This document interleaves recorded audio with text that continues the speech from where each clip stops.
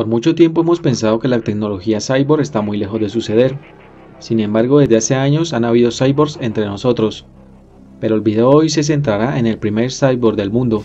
Si quieres saber de quién se trata, no cambies de canal, ponte cómodo y empecemos.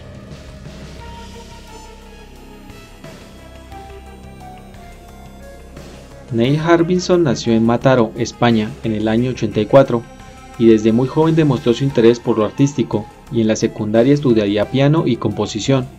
Sin embargo, Neil nació con una particularidad visual, que le hace ver en escala de grises.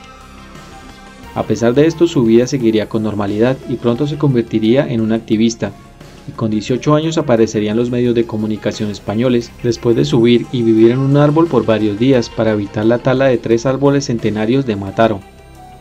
Pero no sería esto lo único que lo habría conocido, pues en el año 2004 se convertiría en el primer cyborg del mundo y en el primer artista cyborg, por expresarse artísticamente a partir de un nuevo sentido creado a partir de la unión permanente de su cerebro y la cibernética.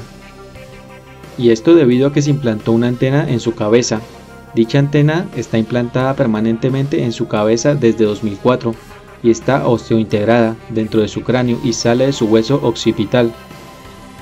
La antena le permite oír las frecuencias del espacio de luz incluyendo colores invisibles como los infrarrojos y ultravioletas. La antena incluye conexión a internet que le permite recibir colores desde satélites y de cámaras externas, así como también recibir llamadas telefónicas directamente a su cráneo. La primera persona en llamar a su cabeza fue el humorista Ruby Watts.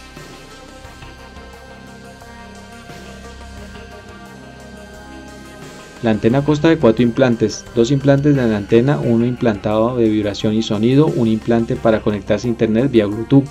Actualmente hay cinco personas, una en cada continente con permiso para enviarle mensajes, sonidos, videos directamente a su cabeza.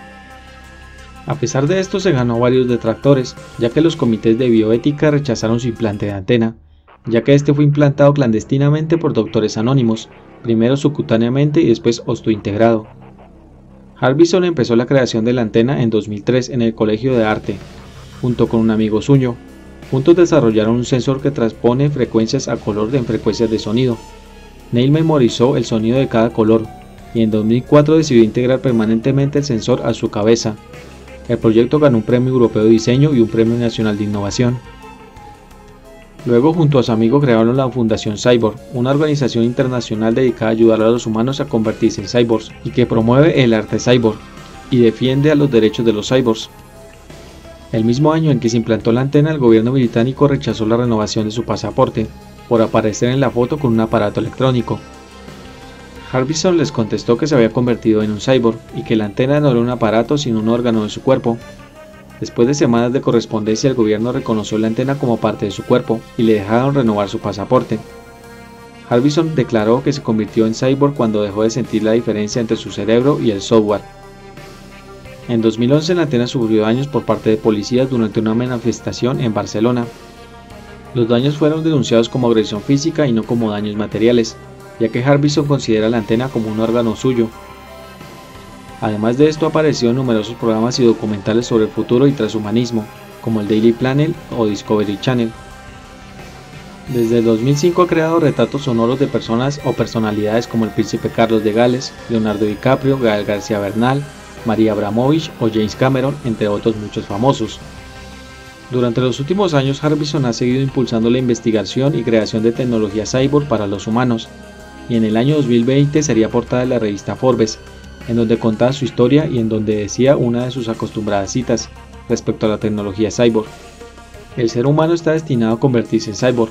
Llevamos siglos usando la tecnología como una herramienta. El siguiente paso es que se convierta en parte de nuestro cuerpo. Si el video te gustó no olvides comentar, compartir el video, darle me gusta y suscribirte al canal. Muchas gracias.